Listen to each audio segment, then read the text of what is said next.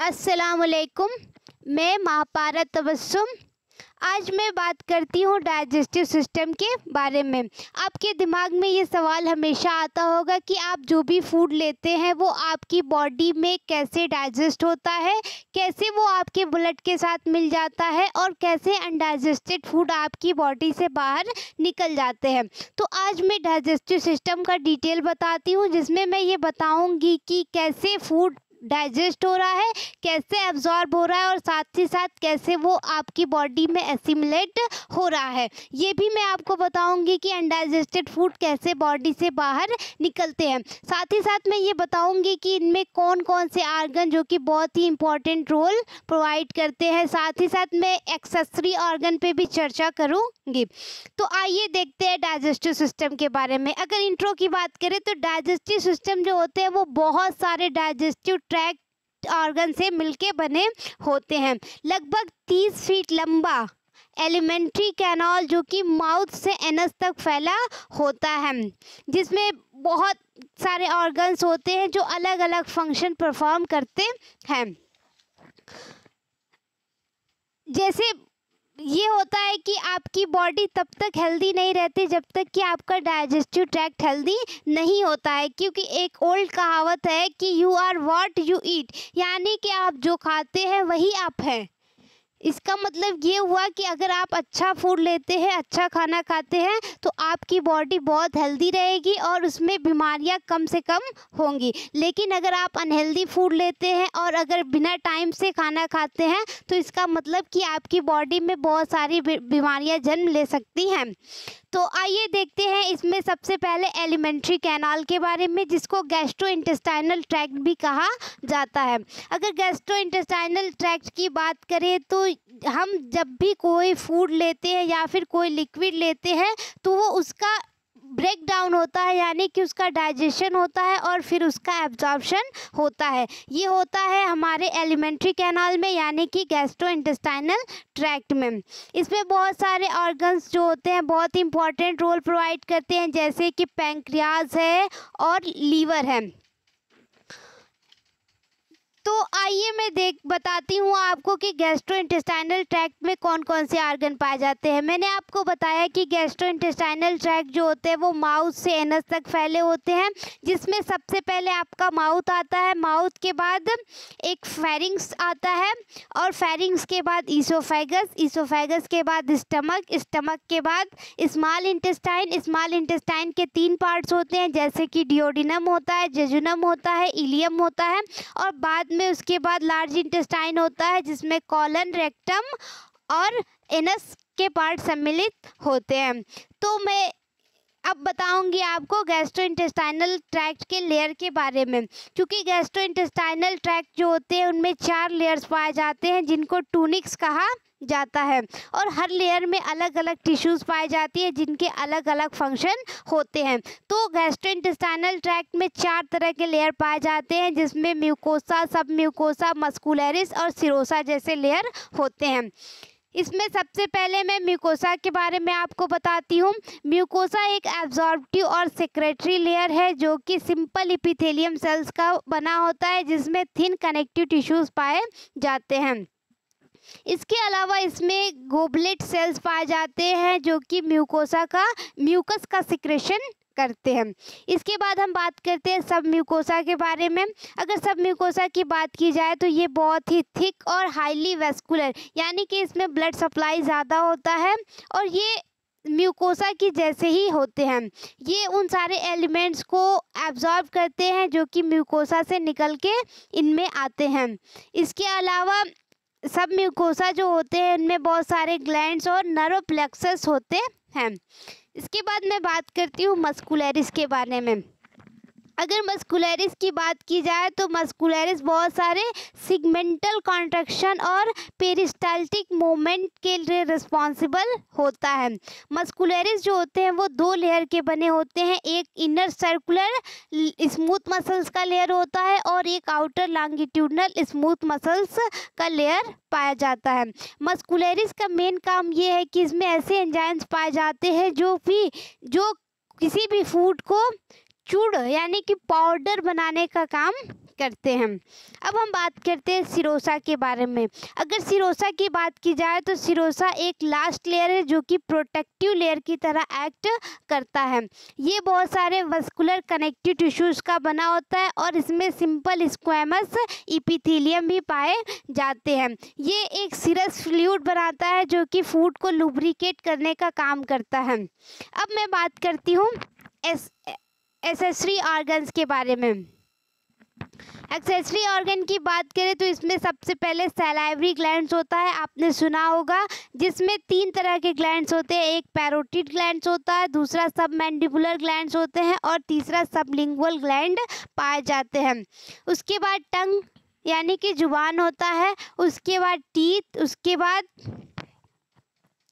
Pharynx उसके बाद oesophagus stomach small intestine large intestine liver gall bladder pancreas और vermiform appendix वगैरह पाए जाते हैं। तो आइए मैं बात करती हूँ अब डाइजेशन के बारे में कि डाइजेशन कैसे होता है। अगर डाइजेशन की बात की जाए तो डाइजेशन जब फ़ूड माउथ में जाता है, उससे पहले ही फ़ूड का डाइजेशन शुरू हो जाता है। जैसे आप कोई भी फ़ूड देखते हैं तो आपके मन में ये लालच आता है कि काश वो फ़ूड या वो भोजन मैं खा लेता। जब भी आपको कोई अच्छी स्मेल आती है, आप उसकी तरफ़ अट्रैक्ट होते हैं और उसको खाने की कोशिश करते हैं। तभी आपके मुँह में सैलाइवा बनना शुरू हो जाता है। अब जब सैलाइवा बन जाता है और फ़ूड आपके मुँह में चला जाता है, उस वक्त आपका डाइजेस्टिव प्रोसेस शुरू हो जाता है। फ़ूड जो होते हैं, वो फ्यूल का बहुत ही इम्पोर्टेंट सोर्स है, यानी बॉडी को भी तो फ्यूल की ज़रूरत है। तो ये फ्यूल जो होता है, वो बॉडी को फ़ूड से ही मिलता है। तो फ़ूड में जो भी न्यूट्रिएंट्स होते हैं, वो बॉडी सेल्स को एनर्जी प्रोवाइड करने का काम करते हैं। इसके बाद ये होता है कि फ़ूड जो होते हैं, वो छोटे छोटे पीसेस में तोड़ दिए जाते हैं और ये छोटे पीसेस जो होते हैं, वो बॉडी द्वारा एब्जॉर्ब कर लिए जाते हैं।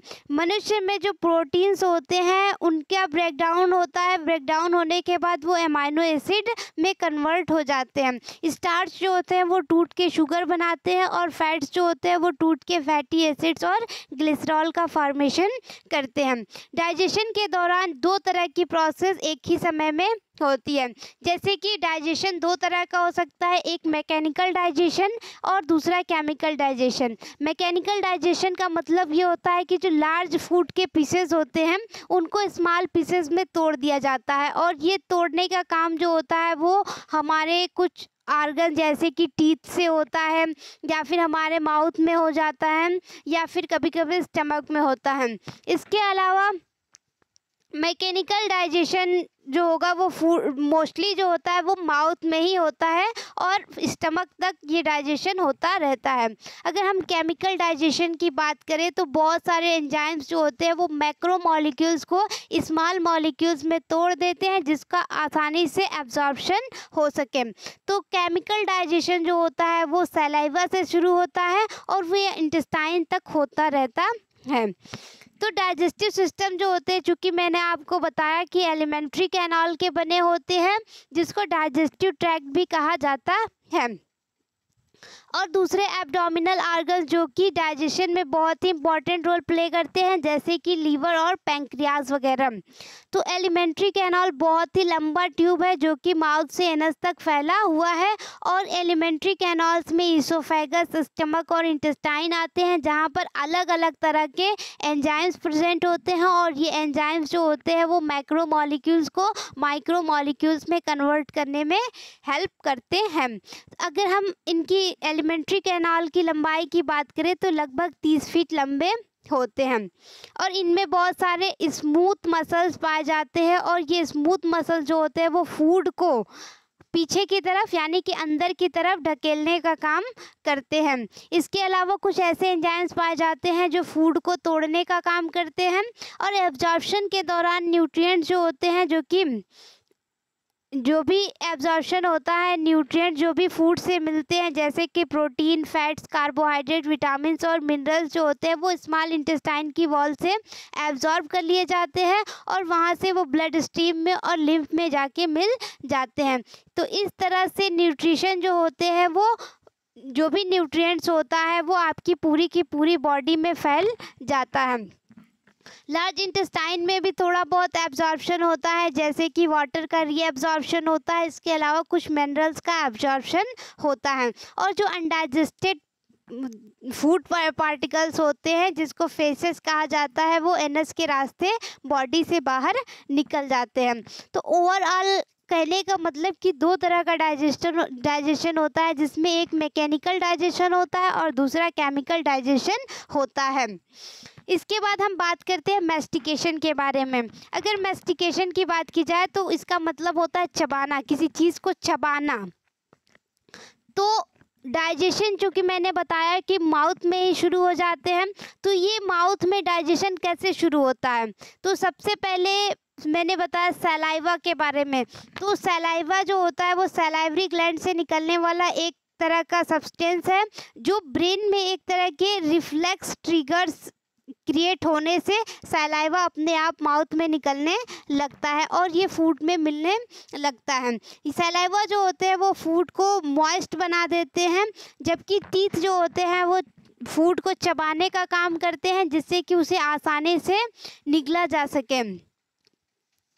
इमाइलेज नाम का एंजाइम जो कि एक डाइजेस्टिव एंजाइम है, जो कि सलाइवा में पाया जाता है। ये स्टार्च को तोड़कर सिंपल शुगर्स में कन्वर्ट कर देते हैं, जिससे कि फ़ूड जो होते हैं वो आसानी से डाइजेस्ट हो जाते हैं। इसके अलावा सैलाइवरी ग्लैंड्स में बहुत सारे नर्वस स्टिमुलेशन देखे गए हैं, जिसमें माउथ में होने वाले रिसेप्टर्स में स्टिमुलेशन होता है। उसके अलावा ब्रेन में जो सेंसोरी इम्पल्सेस होते हैं और साथ ही साथ सेलाइवरी ग्लैंड्स में पैरासिम्पैथेटिक इम्पल्सेस होते हैं, जो कि इनके मेस्टिकेशन में बहुत ही हेल्पफुल होते हैं। अगर हम फ़ूड को सॉल्व कर ले रहे हैं, घोट ले रहे हैं, तब इसके बाद टंग के जो मसल्स होते हैं, वो फ़ूड को बहुत अच्छे से मिक्सअप करने का काम करते हैं और अब ये फ़ूड जो होते हैं, वो हमारे माउथ से फेरिंग्स में चले जाते हैं। और अगर फेरिंग्स की बात करें तो फेरिंग्स एक ऐसा ऑर्गन है जो कि डाइजेशन में भी हेल्पफुल है और साथ ही साथ रेस्पायरेशन में भी हेल्पफुल है। इस फेरिंग्स की जो साइज़ होती है, वो फाइव इंच लंबी होती है और इसके कॉर्नर पर एक स्मॉल स्किन का फ्लैप पाया जाता है, जिसको ईपी ग्लॉटिस कहा जाता है। जब भी हम खाना खाते हैं तो ये ईपी ग्लॉटिस जो होता है, वो रेस्पायरेटरी ट्रैक्ट को कवर कर लेता है, जिससे कि हमारा फ़ूड रेस्पायरेटरी ट्रैक्ट में ना जाए। अगर हम खाना खाते वक्त बात करते हैं तो ये फ़ूड जो होता है, वो हमारे रेस्पायरेटरी ट्रैक्ट में चला जाता है, जिससे हमें बहुत सारी प्रॉब्लम्स क्रिएट हो जाती हैं। तो फिर हम बात करते हैं कि फ़ूड जो है, वो फेरिंग्स में आ गया। अब फेरिंग से ये निगल लिया जाता है और निगल के ये ईसोफेगस में चला जाता है। अब हम बात करते हैं ईसोफेगस के बारे में। अगर ईसोफेगस की बात की जाए तो ये एक गुलेट है, जो कि एक मस्कुलर ट्यूब्स होते हैं, जो कि इंजेस्टेड फ़ूड को माउथ से लेके स्टमक में भेजने का काम करते हैं। फ़ूड जो कि इसोफेगस में जाते हैं, उसमें बहुत सारे पेरिस्टाल्टिक मोमेंट होते हैं। इस पेरिस्टाल्टिक मोमेंट से ही फ़ूड हमारे इसोफेगस से स्टमक में चले जाते हैं। अगर स्टमक हिस्टोलॉजी पर एक नज़र डाली जाए तो स्टमक में बहुत सारे म्यूकस मेम्ब्रेन पाए जाते हैं। इसके अलावा इनमें पेरिस्टाल्टिक एक्शन भी देखा गया है, जो फ़ूड को नीचे की तरफ़ ले जाने का काम करते हैं। इसके अलावा इसमें स्ट्रेटिफाई साइड स्क्वेमस एपिथेलियम की भी लेयर पाई जाती है। अब मैं बात करती हूँ स्टमक के बारे में। अगर स्टमक की बात की जाए तो स्टमक ईसोफेगस और स्मॉल इंटेस्टाइन के पहले पार्ट जिसको डिओडिनम कहा जाता है, उसके बीच में पाया जाता है और ये बॉडी में आपके लेफ़्ट साइड में पाया जाता है। जो भी एब्डोमिनल कैविटी होती है, उसके लेफ़्ट पोर्शन पर स्टमक प्रेजेंट होते हैं। स्टमक के ठीक नीचे पैंक्रियाज पाया जाता है। स्टमक में बहुत सारे म्यूकस मेम्ब्रेन की लाइनिंग पाई जाती है। साथ ही साथ इनमें कुछ ऐसे ग्लैंड्स होते हैं जो गैस्ट्रिक जूस का सिक्रेशन करते हैं। जब भी फ़ूड इसोफेगस से स्टमक में जाता है, ये गैस्ट्रिक जूस जो होते हैं, वो फ़ूड के साथ मिल जाते हैं और इनको एक सेमी लिक्विड में कन्वर्ट कर देते हैं, जिसको काइम कहा जाता है। अब इसमें भी बहुत सारे पेरिस्टाइटिक मोमेंट होते हैं, जिससे कि फ़ूड स्मॉल इंटेस्टाइन के पहले पार्ट यानी कि डिओडिनम में चला जाता है। स्टमक को चार सेक्शन में डिवाइड किया जाता है और इसमें से दो अलग अलग तरह के सेल्स देखे गए हैं, साथ ही साथ इनमें। स्मूथ मसल मसल वॉल भी देखे गए हैं। जैसे मैं स्टमक में दो पोर्शन होते हैं, एक पायलोरिक स्टमक होता है, एक कार्डियक स्टमक होता है। तो जो ऊपर का पोर्शन होता है, जिसको कार्डियक स्टमक कहते हैं, जो हार्ट से रिलेटेड होता है और एक पायलोरिक स्टमक होता है, जो लोअर साइड का पोर्शन होता है, जो कि स्मॉल इंटेस्टाइन यानी कि ड्योडिनम से जुड़ा होता है। तो इसमें दो स्मूथ मसल वॉल पाए जाते हैं, जिसको स्टिंक्चर कहा जाता है, जो कि स्टमक को खोलने और बंद करने का काम करते हैं। जब भी आप फ़ूड लेते हैं ईसोफाइगस से फ़ूड अगर स्टमक में चला जाता है तो वो वापस आपके माउथ में नहीं आता है। ऐसा इसलिए होता है क्योंकि इसमें कुछ मसल वॉल पाए जाते हैं जो फ़ूड को वापस आने नहीं देता है। तो अगर इसमें मसल वॉल की बात करें तो इसमें एक कार्डियर या ईसोफाइगल स्पिंक्चर होते हैं, जो ऊपर की तरफ़ होते हैं और एक पायलोरिक स्पिंक्चर होते हैं जो कि स्टमक में नीचे पोर्शन पर पाए जाते हैं। अब हम बात करते हैं गैस्ट्रिक जूस की। गैस्ट्रिक जूस जो कि स्टमक में पाए जाते हैं, वो बहुत ज़्यादा एसिडिक होते हैं। इनका पीएच एक से तीन तक हो सकता है। गैस्ट्रिक एसिड जो होते हैं, वो कभी कभी स्टमक की वॉल पर या फिर स्टमक की म्यूकस लेयर में कुछ डैमेज कॉज कर देते हैं, जिससे कि पैप्टिक अल्सर हो जाता है। और स्टमक के अंदर साइड पे बहुत सारे स्किन की फोल्डिंग देखी गई है, जिसको गैस्ट्रिक रुगे कहा जाता है। ये गैस्ट्रिक रुगे जो होते हैं, वो अगर आप बहुत ज़्यादा खाना खाते हैं तो स्टमक के सरफेस एरिया को बढ़ा देने का काम करते हैं। अब हम बात करते हैं गैस्ट्रिक ग्लैंड्स के बारे में। गैस्ट्रिक ग्लैंड्स बहुत तरह के होते हैं, जिसमें बहुत सारे डिफरेंट केमिकल्स देखे गए हैं। जिसमें पेरिएटल सेल्स जो होते हैं, वो हाइड्रोक्लोरिक एसिड यानी कि एससीएल का सिक्रेशन करते हैं और चीफ सेल्स जो होते हैं, वो पैप्सिनोजेन का सिक्रेशन करते हैं गोबलेट सेल्स जो होते हैं म्यूकस का सिक्रेशन करते हैं आर्जेंटाफिन सेल्स सीरोटोनिन और हिस्टामिन का सिक्रेशन करते हैं और जी सेल्स जो होते हैं, वो हार्मोन गैस्टिन का सिक्रेशन करते हैं। अब मैं बात करती हूँ वेसल्स और नर्व आर्टरीज़ के बारे में। अगर वेसल्स और नर्व आर्टरीज़ की बात की जाए तो आर्टरीज़ जो होते हैं वो स्टमक में बहुत सारी सप्लाई देती है, जिसमें लेफ़्ट गैस्ट्रिक आर्टरीज़ होती है, राइट गैस्ट्रिक आर्टरीज़ होती है। इसके अलावा हिपैटिक की राइट गैस्ट्रो इपीप्लॉइक ब्रांचेस भी देखी गई हैं। इसके अलावा इसमें लेफ़्ट गैस्ट्रो इपीप्लॉइक की भी ब्रांचेस देखी गई हैं। इसके अलावा इसमें short gastric basic branches linear की भी देखी गई हैं। तो कहने का मतलब कि इनमें आर्टरीज और इनमें वेसल्स जो होते हैं वेसल्स में आर्टरीज और वेंस जो होते हैं, वो स्टमक में पाए जाते हैं। ये सप्लाई जो होता है वो मस्कुलर कोट में जाता है या फिर सब म्यूकस कोट में जाता है या फिर म्यूकस मेम्ब्रेन तक जाता है। अब मैं बात करती हूँ कैपिलरीज़ के बारे में। कैपिलरीज़ में आर्टरीज जो होती हैं वो टूट जाती हैं और टूट के बहुत सारे गैस्ट्रिक ट्यूब्यूल्स बनाती हैं या फिर फाइन कैपिलरीज के प्लेक्सेस बनाती हैं जो कि ट्यूब्यूल्स के बीच में ऊपर की तरफ़ जाता है और आपस में ही उलझ जाता है। और इसमें जो लार्जर कैपलरीज की फ्लैक्सेस जो होती है, उनकी इंडिंग्स भी दिखाई देती हैं। इसके अलावा इनमें हेक्सागोनल मेशेस जो होते हैं डक्ट्स के चारों तरफ़ दिखाई देते हैं। अब मैं बात करती हूँ वेंस की। वेंस जो होते हैं, वो इसमें बहुत सारे वेंस जो कि ट्यूब्यूल्स के ऊपर की तरफ़, बीच में, नीचे की तरफ़ देखे गए हैं।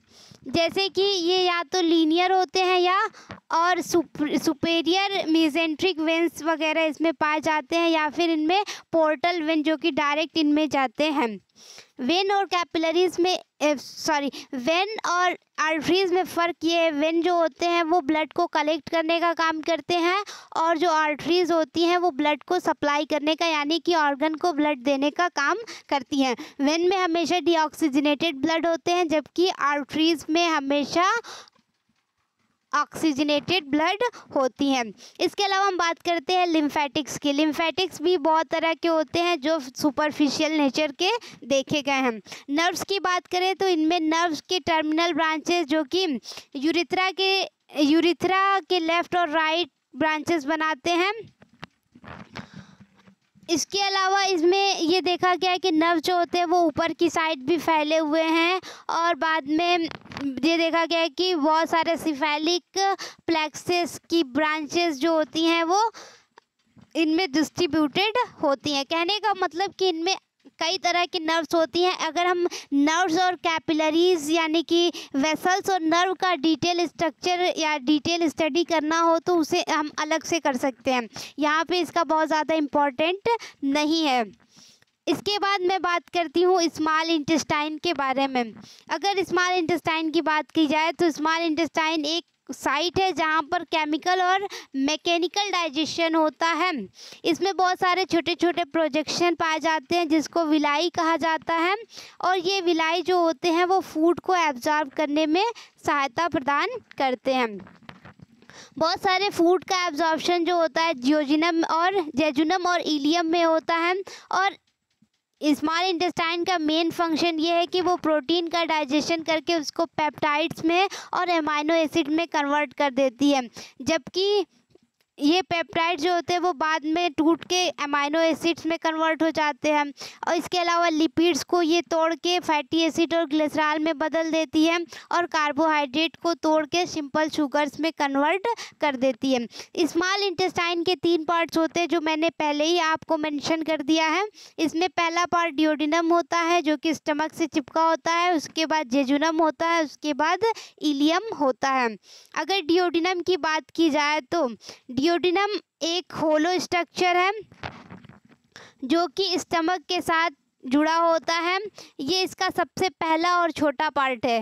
अगर जो डिओडिनम की बात करें तो ये इंटेस्टाइन का सबसे पहला और सबसे छोटा पार्ट होता है, जो कि डिओडिनल बल्ब से शुरू होता है और ये ट्रीट्स के लिगामेंट पर ख़त्म हो जाता है।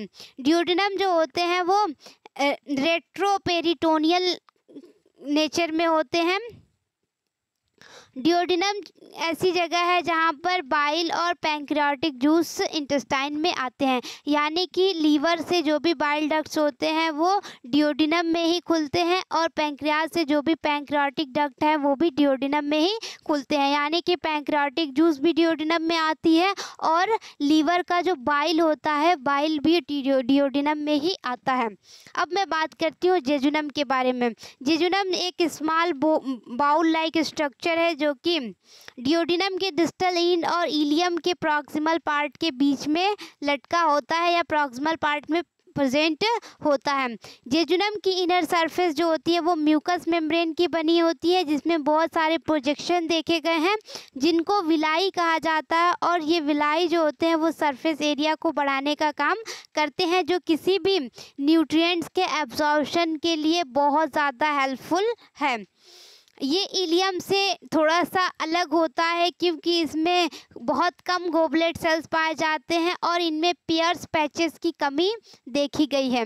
अब हम इलियम की बात करते हैं तो इलियम का मेन फ़ंक्शन ये है कि ये विटामिन बी ट्वेल्व को एब्जॉर्ब करने का काम करता है। साथ ही साथ ये बाइल साल्ट्स को भी एब्जॉर्ब करने का काम करता है। इसकी जो वॉल होती है, उनमें बहुत सारे फोल्ड्स होते हैं, जिसमें फिंगर लाइक प्रोजेक्शन बने होते हैं, जिसको विलाई कहा जाता है।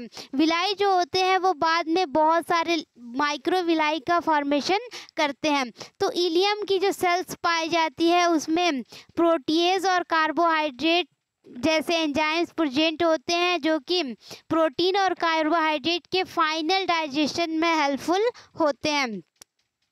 वे एंजाइम्स जो कि इपिथेलियल सेल्स के साइटोप्लाज्म में प्रेजेंट होते हैं, वो किसी भी कार्बोहाइड्रेट को, किसी भी प्रोटीन को पूरी तरह से डाइजेस्ट करने का काम करते हैं। विलाई में बहुत सारी कैपिलरीज देखी गई हैं, जो एमाइनो एसिड्स को और ग्लूकोज को ले लेते हैं। यानी कि विलाई जब भी कोई फ़ूड डाइजेस्ट हो जाता है तो वो जाके विलाई में मिल जाता है। विलाई की कैपिलरीज में ब्लड होती है और वो ब्लड में जाके मिल जाता है। अब मैं बात करती हूँ लार्ज इंटेस्टाइन के बारे में। लार्ज इंटेस्टाइन जो कि इलियम से एनस तक फैला हुआ है, जो कि पाँच फीट लंबा होता है और ये पूरी की पूरी इंटेस्टाइनल कैनाल का एक बटा पाँचवा पार्ट बनाता है। ये आगे की तरफ़ पहले प्रारंभ में सिकम होता है, इसके स्टार्टिंग में सिकम पाया जाता है, बाद में ये रेक्टम में जाके पतला होके रेक्टम का फॉर्मेशन करता है। ये चूँकि स्मॉल इंटेस्टाइन से अलग होते हैं, इनमें कई पार्ट्स देखे गए जैसे सबसे बार, सबसे ऊपर की तरफ़ इनमें सिकम पाया जाता है, उसके बाद कोलन उसके बाद रेक्टम और बाद में एनल कैनाल पाए जाते हैं। तो लार्ज इंटेस्टाइन का मेन फ़ंक्शन ये है कि ये किसी भी फ़ूड को, जब पूर्ण रूप से जो कोई भी कम्प्लीटली डाइजेस्टेड फ़ूड जब लार्ज इंटेस्टाइन में जाती है तो वहाँ पर कुछ मिनरल्स का एब्जॉर्प्शन होता है तथा और वाटर का रीएब्जॉर्प्शन होता है। अब मैं बात करती हूँ एनस के बारे में। एनस जो होते हैं वो बुटक्स के बीच में प्रेजेंट होते हैं और इसमें स्पिंक्चर पाए जाते हैं दो तरह के। इसमें पहला स्पिंक्चर जो कि स्मूथ मसल्स का बना होता है, जो कि इनवॉल्यूंट्री होता है, यानी कि वो अपने से काम करता है, अनैच्छिक होता है। और दूसरा एक स्टेटेड मसल्स का बना स्पिंक्चर होता है, जो कि वॉल्यूंट्री होता है। जब भी किसी एनिमल में या फिर ह्यूमन बीइंग में एनल सैक जो होते हैं, जब भी बहुत ज़्यादा प्रेशर बनता है इस स्पिंक्चर पर तो जो भी फेसेस होते हैं, वो बाहर की तरफ़ निकलने लगते हैं।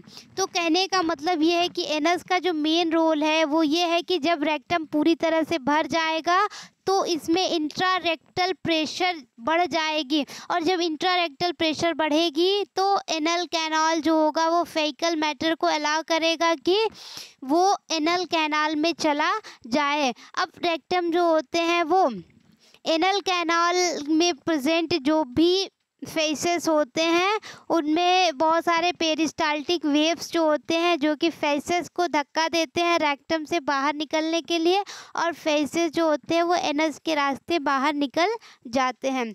तो ये है आपके डाइजेस्टिव सिस्टम का ओवरऑल प्रोसेस।